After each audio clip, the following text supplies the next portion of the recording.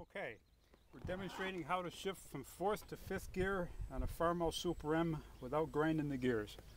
First I'm going to go through it with the tractor stationary so you can see the steps and then I'll start it up and we'll do it live.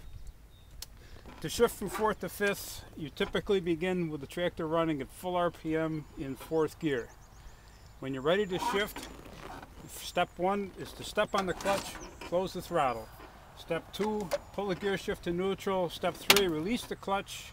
As the engine idles down, step four, step on the clutch, pull it into fifth, and finally release the clutch and go back into fifth gear.